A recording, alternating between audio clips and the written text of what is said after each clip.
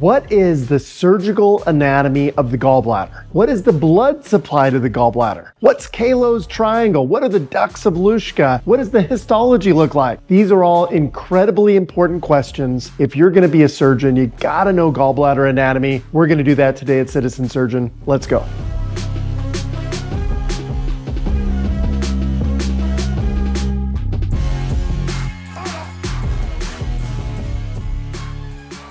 Welcome back to Citizen Surgeon. My name's Dr. Erik Pearson. I'm a pediatric surgeon and I'm here to get you comfortable on the wards, in the ICU, in the operating room, and of course, on your exams. Today, we're going to be talking about all things gallbladder. So let's get right into it. Why do we need to know the anatomy of the gallbladder? It seems it's just a green bag, right? No, no, it is not. Okay. Well, it is a green bag, but there's a lot of complicated and subtle anatomy associated with gallbladder, and we're going to get into it. And some of those reasons are because in surgery and in medicine, there are a ton of different diagnoses that we see related to the gallbladder. We see gallstones. In the last video, I told you all about gallstones and bile and what bile is and why gallstones form. Solubility triangle. Definitely check that out if you haven't already. So gallstones, symptomatic cholelithiasis. We have acute cholecystitis. We have chronic cholecystitis. We have acalculous cholecystitis. We got gallbladder polyps. We got gallbladder cancer. We have biliary dyskinesia. There are a ton of things that we have to consider and understanding those and then understanding the surgeries we do to remove the gallbladder. Well, you got to know the anatomy. Okay. So how do we start with the anatomy of the gallbladder? Well, check out this picture right here. Okay, so when we look at the gallbladder, we want to look at it first in relation to the biliary tree. So we have the gallbladder. The gallbladder contains bile, okay, and that's going to drain through the cystic duct where it joins the common hepatic duct to form the common bile duct. All right?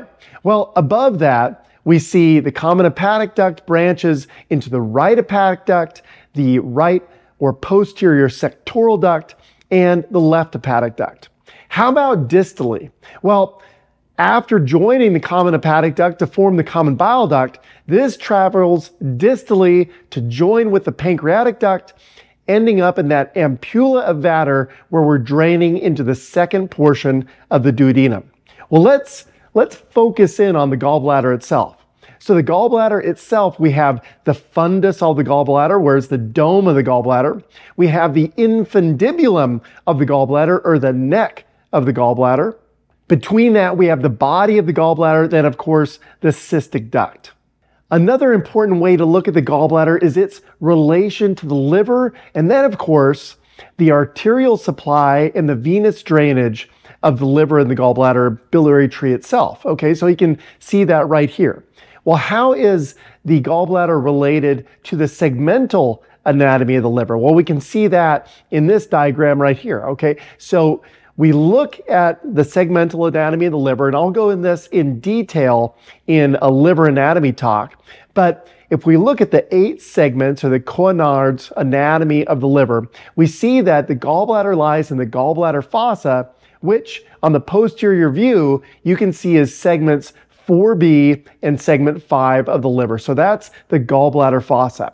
When does that become really important? Well, that may become important if you have a gallbladder adenocarcinoma and particularly on a specific stage, which we'll get into, you may have to resect segment 4B and segment 5 of the liver in order to get an adequate margin for that cancer resection. But we will definitely talk about that later. But I hope that gives you an idea of why it's important to understand this anatomy and specifically the relational anatomy or how a particular organ is related to those organs that surround it. So there are a few eponymous anatomical structures in hepatobiliary anatomy, and one of those is the ducts of Luschka. Okay, so the ducts of Luschka, Heinrich Luschka was a German anatomist, 1859, he described these, and they are two millimeters or smaller, so small ducts that lie in the subserosal surface of the liver, uh, right in that connective tissue of the gallbladder. They usually drain in the right hepatic duct or the subsegmental ducts of uh, segments four and five. But why are they important? Well, they're important because when we are taking the gallbladder from the gallbladder fossa in a open or a laparoscopic cholecystectomy, these ducts can be injured.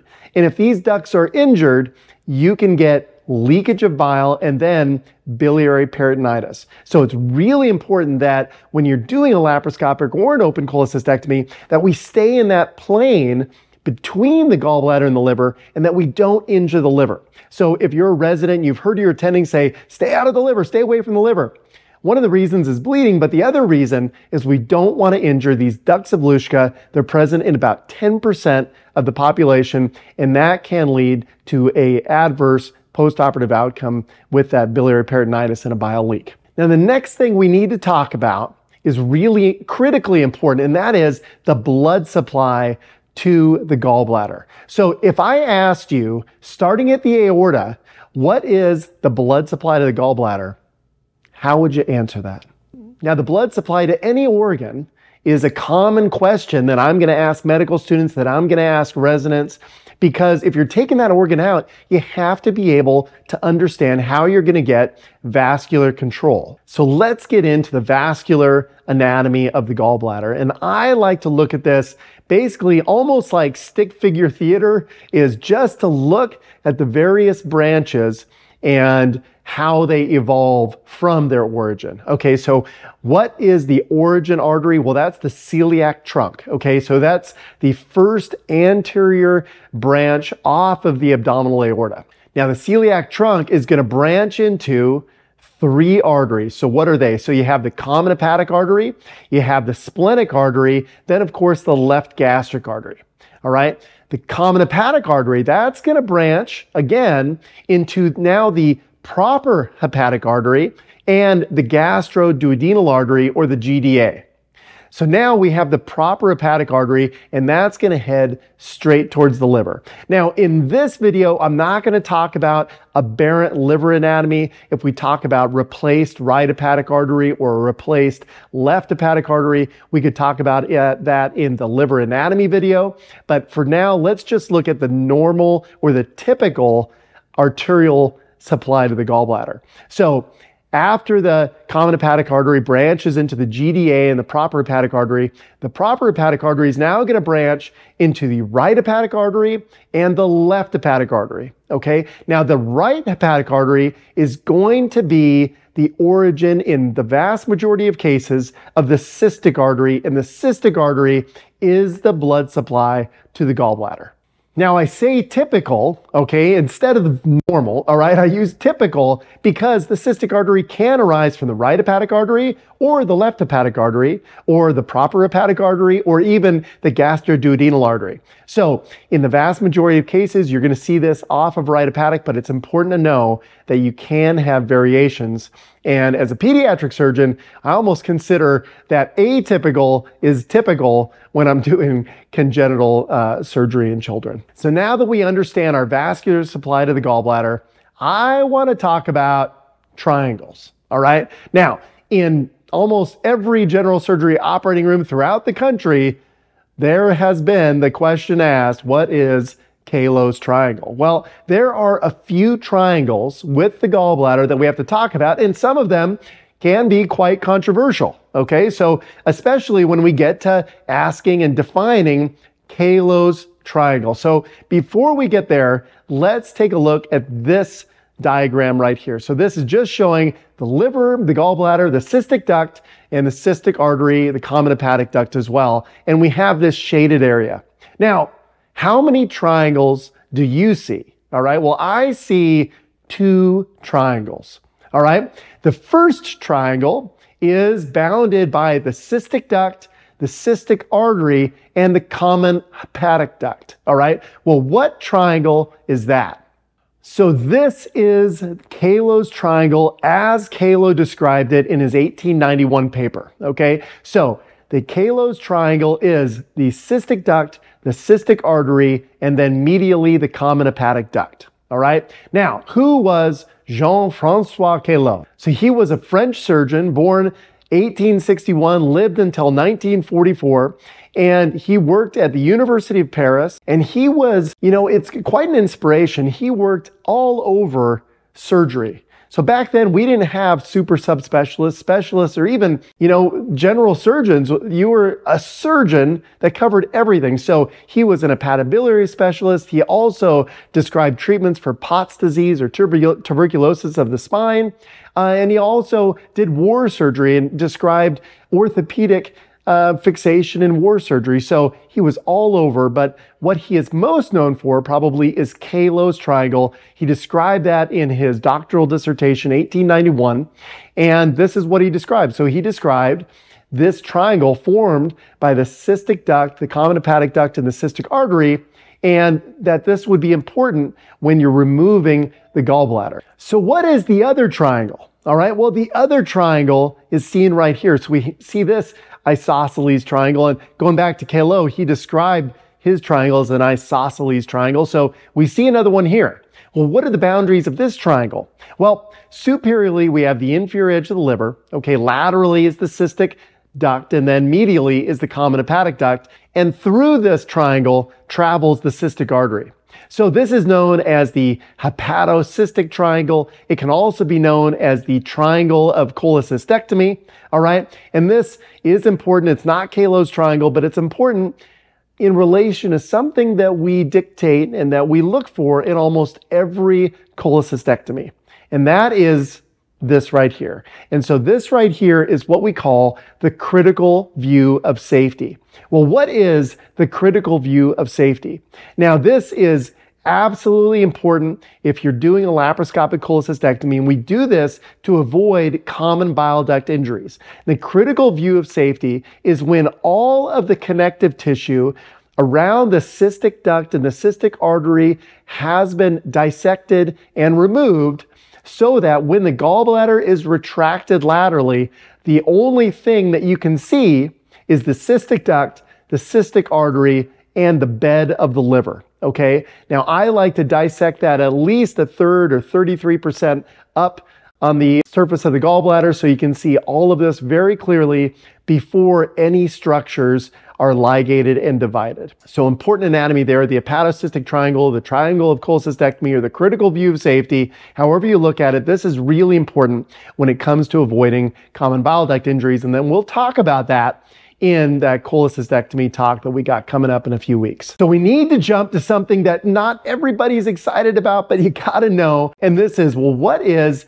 the lining of the gallbladder. We're getting into histology and the gallbladder histology is a little interesting, right? Because we see cholecystitis and inflammation and you should understand, well, why is it that, that the gallbladder is particularly prone to that. Okay, so we're going to get into that. So what is the lining of the gallbladder? So the lining of the gallbladder is epithelial lining. It's a single layer of columnar epithelium, and those columnar cells have microvilli, and those microvilli, much like the small intestine microvilli, increase the surface area for absorption of water and electrolytes. Like I said, the lining of the gallbladder is particularly sensitive to inflammation. I'm going to give you some reasons for that in a few minutes here. So let's look at the different cells. So we have columnar cells. Those columnar cells, as I said, have microvilli.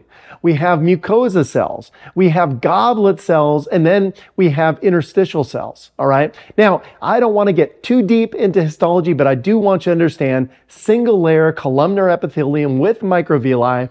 And now getting to that point. So why are they particularly prone to inflammation? Well, the gallbladder mucosa is constantly exposed to bile. Sometimes that bile has gallstones, okay, if you have supersaturated cholesterol or bilirubin like we talked about last time.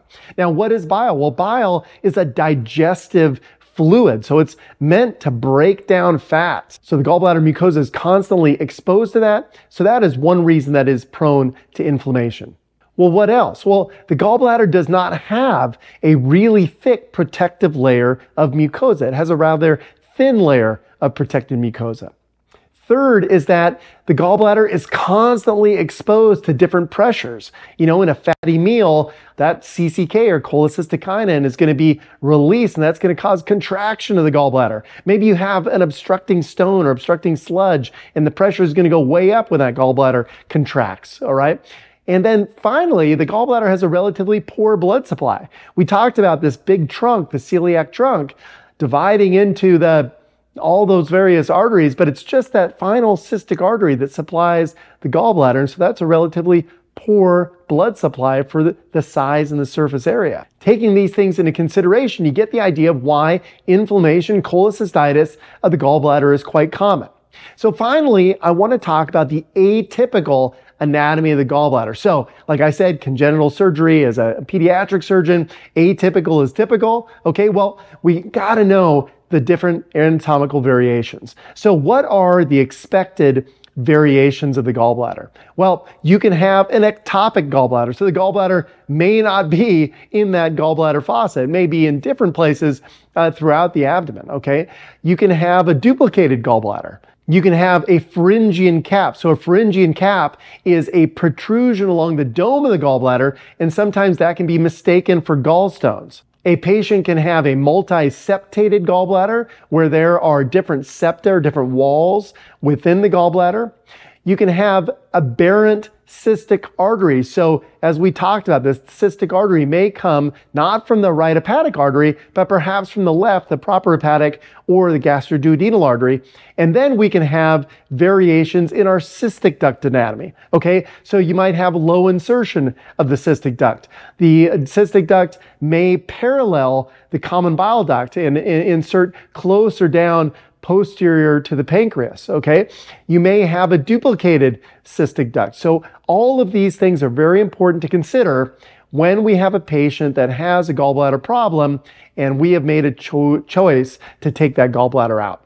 So today we talked about all things gallbladder. We talked about the gallbladder anatomy, okay? We talked about its relationship to the biliary tree. We talked about its relationship to the segmental anatomy of the liver. So segments 4B and 5, that gallbladder fossa, all right? We talked about the blood supply to the gallbladder, and we talked about those really important triangles, both Calot's triangle as well as that hepatocystic triangle or the triangle of cholecystectomy or the critical view of safety, however you want to look at that, all right? We also talked about the lining of the gallbladder, and we talked about atypical anatomy. I hope you enjoyed this. If you did, give it a like, give it a share, leave me a comment, let me know what did you like, what value did you get, check out citizensurgeon.com. I'm starting to populate that with a lot of great information, some valuable resources, the four important takeaways, and then show notes from this video, and you can get all the references. So again, I love it that you're here. Thanks for being part of my community. And as always, stay safe, study hard. I'll see you next time.